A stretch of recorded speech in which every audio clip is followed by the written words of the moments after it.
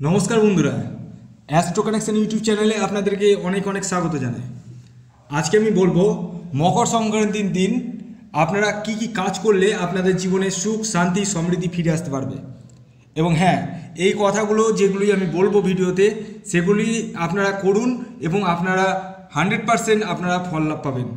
তো ভিডিওটি শুরু করার পূর্বে আপনাদের কাছে প্রতিবারের মতো রিকোয়েস্ট যারা নতুন এই চ্যানেলটি দেখছেন, তারা দয়া করে লাল রঙের সাবস্ক্রাইব বাটনটা ক্লিক করে পাশে বেল আইকনটিকে অন করে দিন এবং অল করে দিন, যাতে সমস্ত রকম নোটিফিকেশান আপনারা আপনাদের ফোনে পেতে পারেন। তো আসুন, ভিডিওটি শুরু করা যাক।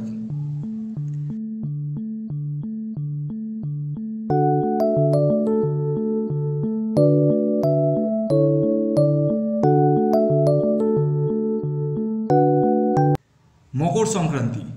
এটি একটি আমাদের বাঙালিদের খুব গুরুত্বপূর্ণ একটি অনুষ্ঠান বা পর্ব বলা যায়।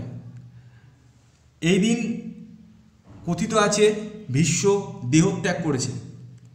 এবং এছাড়াও এই দিন সূর্য দক্ষিণায়ন থেকে উত্তরায়ণে আসে।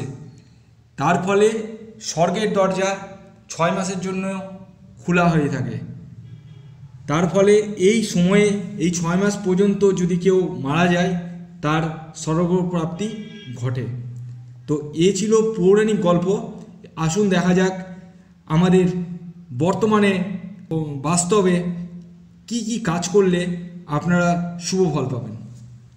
মকর সংক্রান্তির দিন আপনারা যদি তিল, দই, বস্ত্র